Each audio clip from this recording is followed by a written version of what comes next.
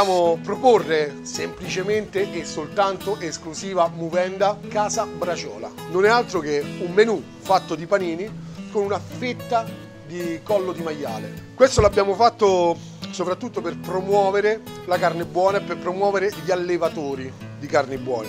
Si, si, mangia questo pane croccante con 48 ore di lievitazione dove praticamente è tutto quanto naturale dalle cicorie che vengono raccolte ai formaggi, ai, ai salumi che vengono abbinati a questa braciola, una cosa golosissima.